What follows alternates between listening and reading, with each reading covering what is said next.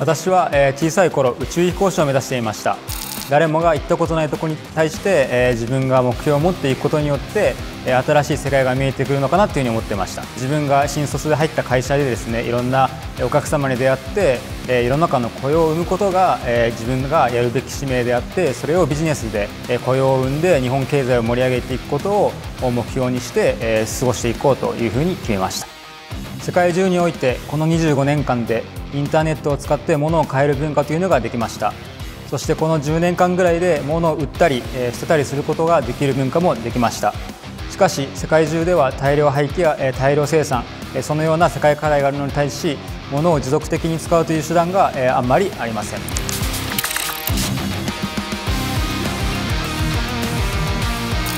日本の職人さんの事業拡大や DX を手助けし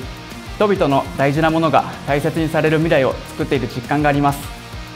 さまざまなサービスがお客様に気軽に品質高く安心して提供できる未来を私たち品質管理グループが作っていきます。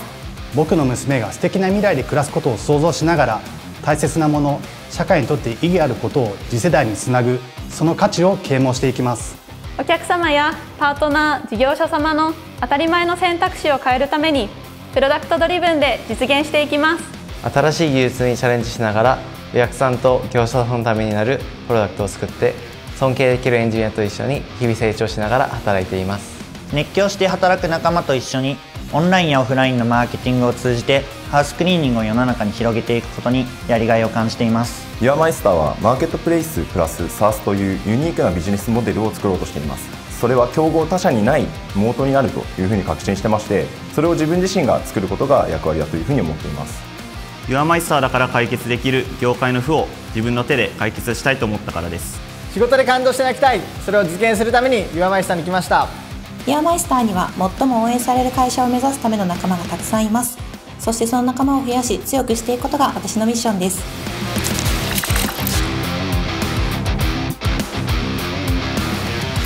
ユアマイスターはプラットフォーム事業として多くのユーザー様とパートナー様とともに進んでおります。規模が大きくなればなるほど新しい提供価値のスピードっていうのが上がりそれをイヤーマイスターの強いチームを持ってどんどん作っていきます。その上で社会貢献をして大量の雇用を発生させ物を大事にするという文化を実現するためにこの5年間走ってきました。